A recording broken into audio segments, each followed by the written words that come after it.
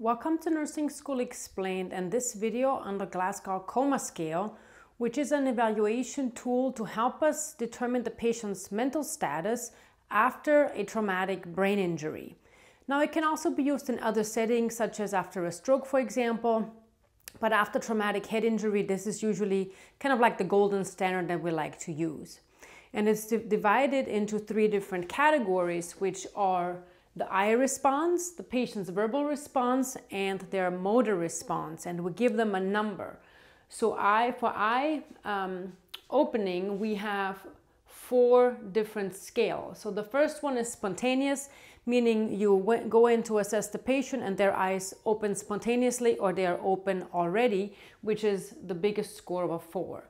Now, if the patient's eyes are closed when you approach them and you say, hello, Mr. or Mrs. So-and-so, and they open their eyes, then that would be a three, meaning that they've opened their eyes to your voice, to the sound of your voice.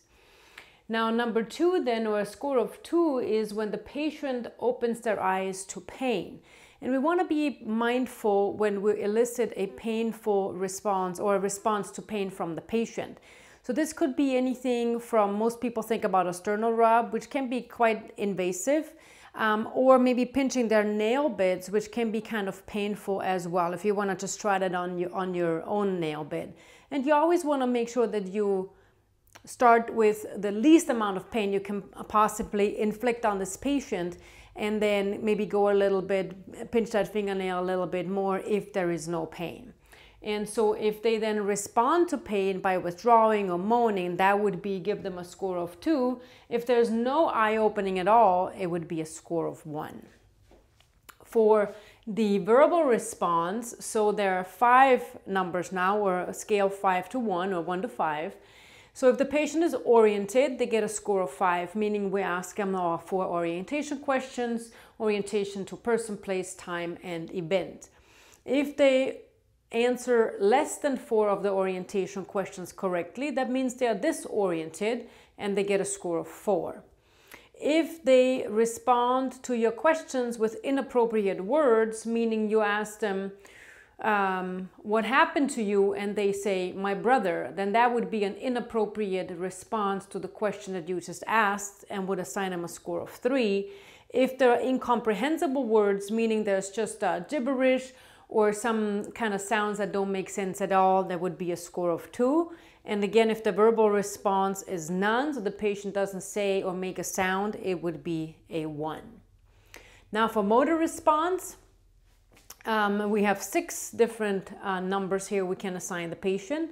So if they obey the commands, squeeze my fingers, for example, open your eyes, smile, those kind of things of the neurologic exam. If they obey commands, they get a score of six.